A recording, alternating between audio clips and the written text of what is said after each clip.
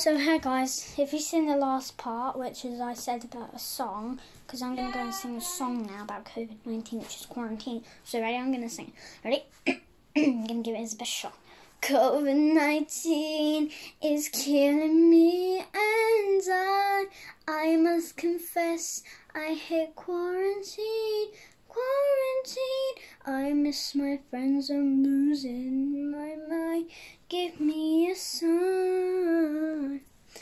When can I go outside? Whoa. Guys, can you uh, get me to 70,000 likes? Okay.